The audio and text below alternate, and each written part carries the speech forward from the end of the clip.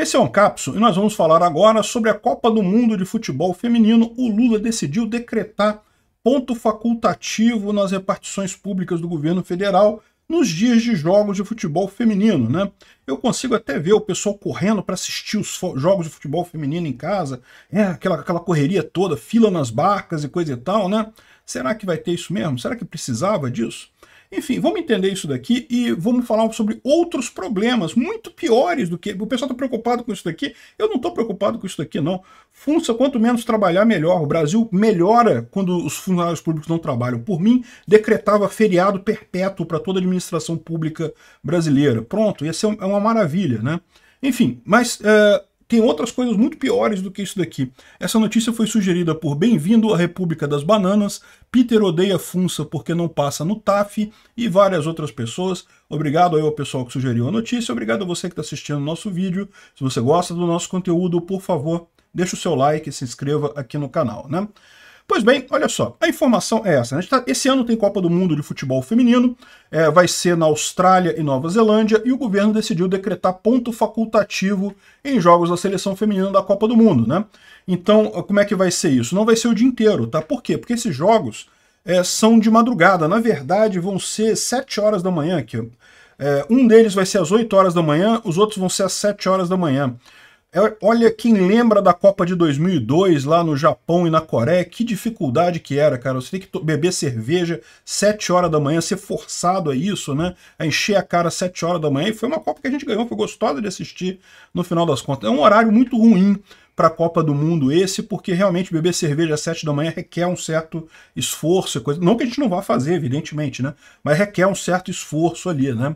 Enfim, é, agora, assim, é, repara, não é o dia todo de ponto facultativo, tá?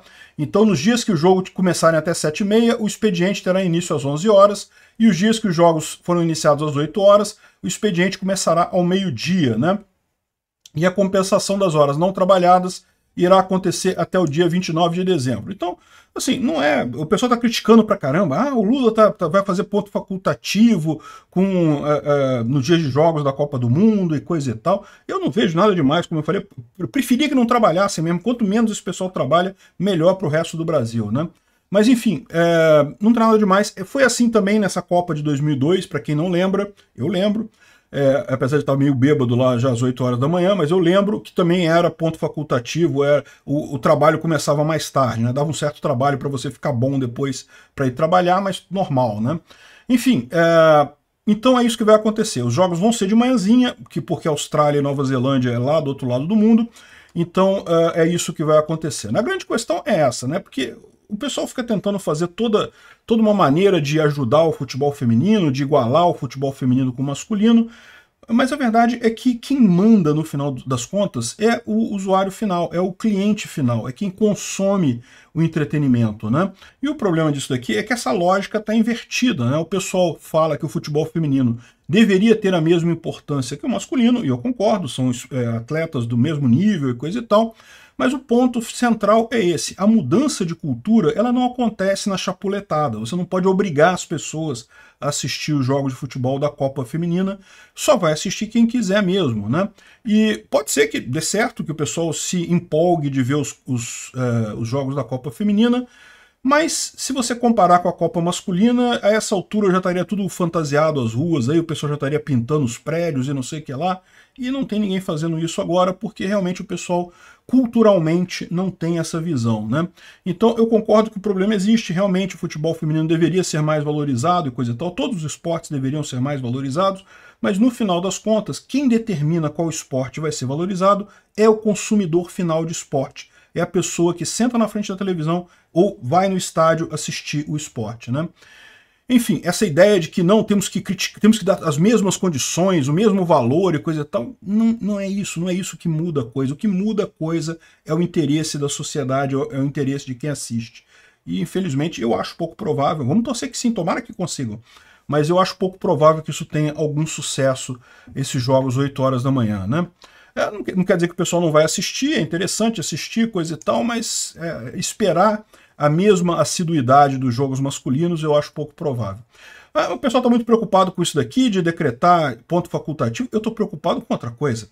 o Brasil acabou de ser o peixe, é, é salvou a FIFA ao ser o único país candidato à Copa de Sede de 2027. Então já está praticamente certo que o Brasil vai ser a sede da Copa do Mundo Feminina de 2027.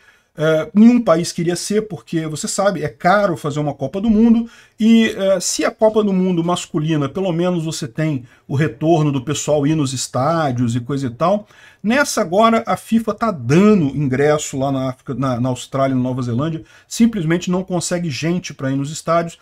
É verdade que lá na Austrália e na Nova Zelândia, pelo menos o futebol feminino lá tem mais força, tá? Aliás, lá o futebol feminino é mais forte que o masculino. É, ninguém se importa, os clubes masculinos lá não têm importância, mas mesmo assim, no final das contas, a impressão que eu tenho é que uh, uh, homens se interessam mais por esporte do que mulheres. De novo, não estou dizendo que todas as mulheres, nenhuma mulher goste de esporte ou que não tenha homens que não gostem de esporte, não é isso.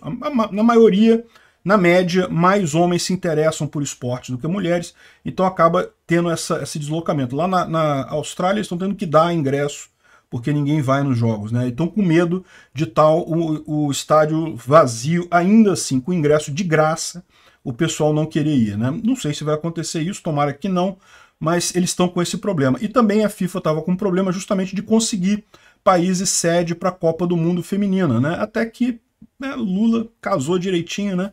Não porque o Lula, não que o Lula seja feminista e goste de ajudar mulheres, não, como eu falei, a esquerda tá cagando para esse negócio de feminismo, racismo, pauta LGBTQ, não sei o que lá, estão cagando para isso. O que eles querem dinheiro, né, roubar a sociedade. E daí uma Copa do Mundo dá um monte de oportunidades para isso. Tem que fazer obra em estádio, provavelmente eles vão dizer que os estádios que vão ser usados vão ser os estádios que já foram construídos para a Copa do Mundo, ok.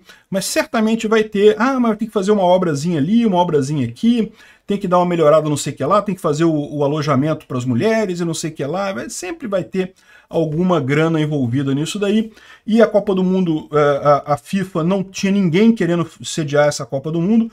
A verdade é, o prazo é até dia 8 de dezembro. Então pode ser que algum outro país se candidate até 8 de dezembro. Mas até este momento, haviam exatamente zero países interessados em sediar a Copa de 2027. Agora tem um, o Brasil. O Brasil assinou aqui e você pode ver que aqui eles falam claramente que não falam em nenhuma, nenhuma outra, outro país que está é, é, competindo com o Brasil nessa coisa que o Brasil é o primeiro, entrou nesse negócio justamente porque o Lula quer roubar dinheiro da, da gente, né? quer roubar, quer fazer esse tipo de coisa, quer trazer o futebol feminino aqui para o Brasil.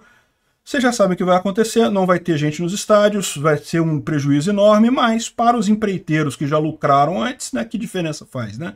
Quem se importa? O dinheiro é dinheiro, meu amigo, entrou, pronto, né? Enfim, é isso daí. Isso daqui é um absurdo. Isso é muito absurdo, muito mais absurdo do que ponto facultativo no dia do jogo. Pô, tinha que ser ponto facultativo todo dia para funcionário público. Não, não trabalha não, fica em casa. Faz nada não, para quê? Obrigado por assistir o vídeo até o final. Além de curtir, compartilhar e se inscrever no canal, considere se tornar patrocinador com valores a partir de R$ 1,99. Clique no botão Seja Membro abaixo para saber as condições e vantagens de patrocinar o canal. Mais informações sobre o nosso projeto, visite nossos sites indicados na tela.